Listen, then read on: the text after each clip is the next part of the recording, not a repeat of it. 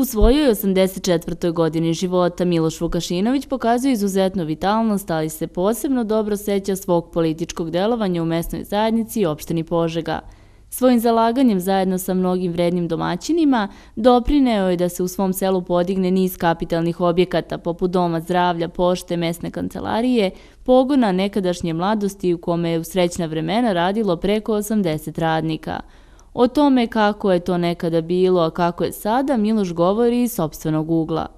Relativno ljudi su kukali na tu vlast, a za mene je svaka vlast bila dobra koja je htjela da radi, ali bilo je bolje, ne vredi Ako u moje mesnu zajednicu, bar predsjednik opštine i sekretar komiteta, najmanje 5-6 puta u toku godine dođu i sa ljudima razgovaraju, a sad nisam zadovoljan.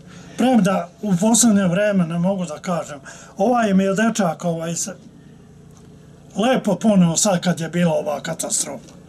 Ne, ne znam da li bi oni, ali ono je bio mrak, bila je noć kad se on došao da obiđe, a stvarno je mnogo, mnogo nas je grad oštetio. I da je on našao snage da dođe da nas obiđe. To mu hvala. I pored mnogo godina i događaja koji proleću u pokraj ljudskih života, Miloš se pojedinih događaja izvanredno seća i veoma upečatljivo o njima govori.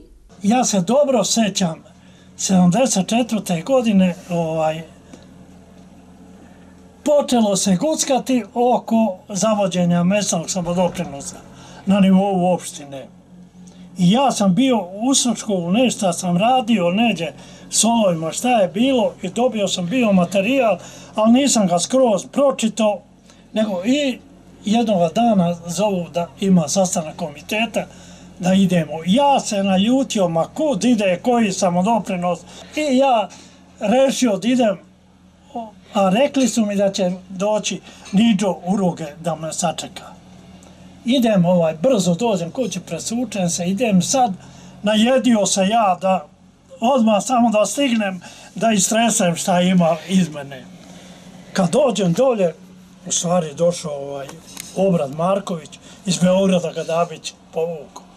Kad su oni počeli da objašnjavaju to, ja sam bio da poginem ili da se zavede taj samodoprinos. I ništa ne bi bilo da nismo zaveli samodoprinos. Napravljen je put u kod ovih uroge, gore neđe na onaj više požege, kako se zove, onda napravi se mladost od toga, pa se napravi hotel. To je bio ogroman samodoprinos. 5% na bruto lične dohodke. A gdje se radi u selu, 100% na katastarski dohodak. To su ogromne pare bile i slivale se. Kako sam kaže, od Dabića pa do Milke i Tihomira bio je redovni odbornik u svim sazivima aktivno učestvujući u svim raspravama i uvek zahtevajući da se što više pomogne selima. Možda i tim radom danas su naša sela prepuna prelepih domaćinstava koja su plod velikog i napornog rada naših sugrađana sa sela. Bolje se živi, a manje se radi bolje se živi, a manje se radi. Ja gledam sade, na primjer, 15 dana treba nam sade palo ovo kako je pauza da učemo pjeska i ne možem. A meni je to bilo prosto.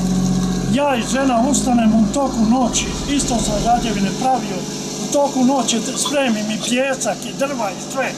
Meni ništa nije bilo teško. Meni ni.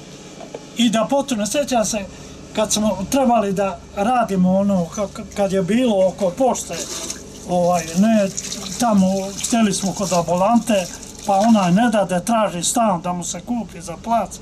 I onda dođemo i Stojan Milojević bio onaj predsjednik izvršnog odbora šta je bio? Ja kažem nemamo čoveče placa djećem on kaže pa dignite sprat na ovu prodavnicu jo, djeća se ruiniran ono kako je bilo. I sad je pokojeno Granka, ja pitam da i dovede njegove projektante iz, iz puteva da dođu. Dođoše trojice njih i tako razgovaramo kako ćemo košta. Kad su oni meni rekli cifru koja pa to treba da košta, mene je glava zaboljela, nismo imali para i otkažem ja to. Neko mi rekne za Milića Markovića Baća. da ovaj da, da on to može, ima odobrenje i da kontroliše i da pravi projekte. I nađem ga ja i došao Bačo i gore iskupili se mi ovaj, počeli da kopamo. Ano, kiša pala pa neće niko, ovaj, on govori treba dolje da se otkopa, da nađemo neke cijevi, ajde ti, ajde ovaj, ajde, neće niko, i joj, meni sinu, ja skočim ja u kanal. I Milić kaže, kad sam vidio da se ti ona otišao, zato sam prihvatio, sam znao da ćeš da izguraš. A inače, kaže, to je bio ogroman posao za, za, za selo. I posle uradi smo. Odi Mila, odi da nas ovaj čiku snimi, nazvovaj. Ajde. I sada u svojoj devetoj deceni Miloš se ne libi rada, koliko mu to zdravlje dozvoljava. On ističe da čovek uvek treba pomalo da se kreći i da se ne sme zapustiti. Svoje dane provodi u okruženju porodice svoje dva sina, a poseban oslanac u njegovom životu predstavlja supruga Milja, koja ga je kroz celokupan život podržavala i bila oslanac domaćinstva.